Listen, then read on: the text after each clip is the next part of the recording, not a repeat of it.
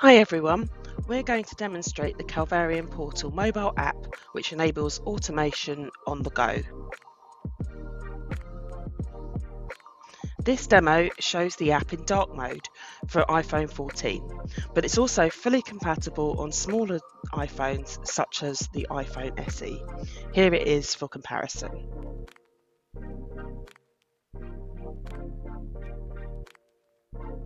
Here you can see the mobile app and desktop version side by side. The app is easy to navigate with four tabs along the bottom of Favourites, Services, Requests and Settings. Services can be sorted in various basic ways. You can bookmark favourites in either the desktop or mobile version. These are reflected wherever you log into the portal, however, they are unique to each user. To favourite, swipe left and click on the little bookmark icon.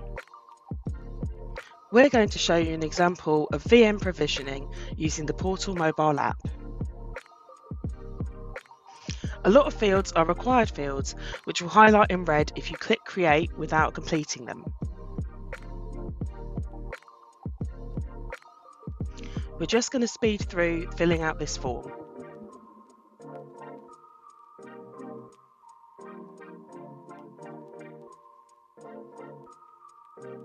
Here we are showing you how you can create the request in the web portal as a comparison.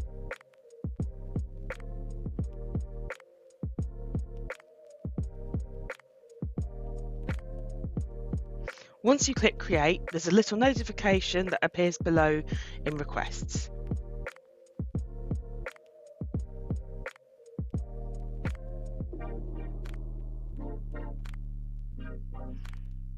Most of the screens on the Portal app have a pull down refresh feature.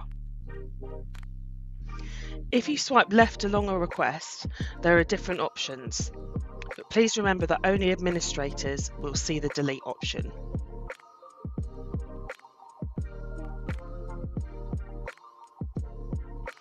Here is another request. This one we're going to reject. As you can see, a field pops up asking for the reason for the rejection.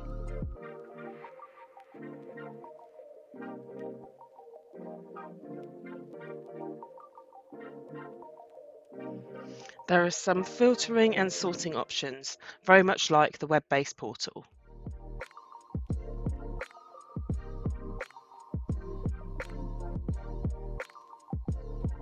You can click into the details of the request to find out more about it before it is approved.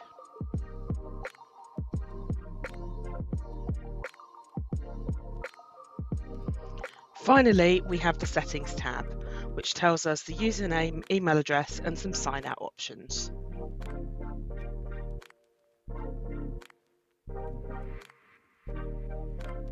Thanks for watching this demo of the Portal mobile app. We hope that you found it helpful. If you would like some further information, please get in touch with our team.